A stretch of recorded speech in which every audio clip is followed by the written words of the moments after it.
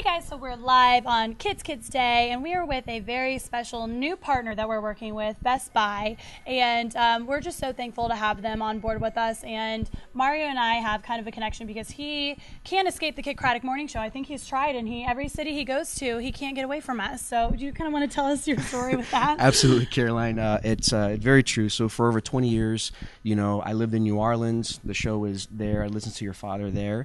Uh, moved to San Antonio, lived there for about 10 to 11 years, and would listen to the show there and following Kidd's Kids and everything you guys are doing. And then about a year ago, moved to Dallas Fort Worth, where I was like, you know what, I got to go find Caroline. yeah, so let's, uh, let's let's make this work.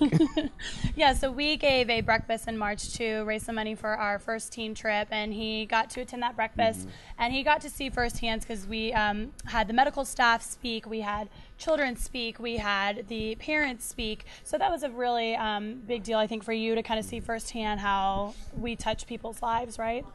You know, absolutely. Um, you know, hearing it on the radio station and then just being in person, hearing from the families, the parents, as well as the kids firsthand was just absolutely touching, you know. And then um, just not understanding everything that goes behind the scenes mm-hmm. and what mm-hmm. you guys do to facilitate the medical needs and truly make sure that you know they're absolutely you know can have great memories and just focus on having fun uh, outside of what they normally do in their everyday lives. Mm-hmm.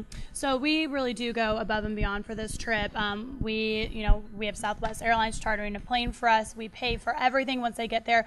We always say like, you don't even need to bring your wallet. We pay for food, souvenirs, anything and everything they want. We give to these families, um, and we go so above and beyond every year. Um, and Best Buy is going to help us do that with a really special thing. And I'm going to let you kind of be the hero of the day and kind of announce what we're doing with Best Buy. Sure. Well, on uh, on behalf of Best Buy and the Best Buy family, we want to extend uh, an iPad to every family that will be attending. So uh, they'll get one uh, one iPad. On top of that, we're gonna provide a case to protect it and a screen to cover it, so that way they're covered there. Everyone's but safe. that's right.